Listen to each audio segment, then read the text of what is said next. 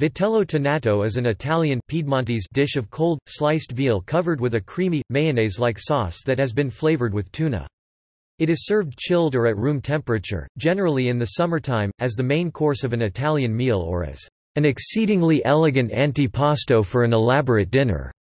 It is also very popular in Argentina, where it is known as vitel toné, and considered a traditional Christmas dish. It is prepared at least a day or more in advance by braising or simmering a piece of veal from the back leg called eye round, which is then cut into thin, individual servings.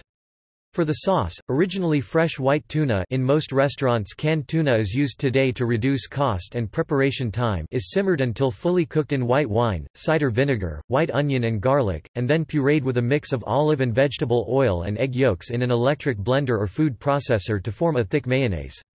For the mayonnaise a variety of seasonings can be used, including anchovies, cayenne pepper, capers and lemon juice. The thick, smooth puree is then somewhat thinned with a little water and cooking liquid from the veal and a few capers are stirred in. Some of the sauce is spread out on a serving platter and the cold slices of veal are arranged in a single layer on top. The rest of the sauce is then poured over the veal so that it is, generally, completely covered. The dish is allowed to refrigerate for a period up to five days to fully develop the flavor.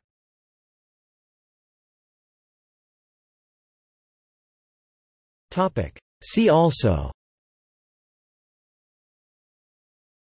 List of Italian dishes. List of veal dishes. Italian cuisine. Argentine cuisine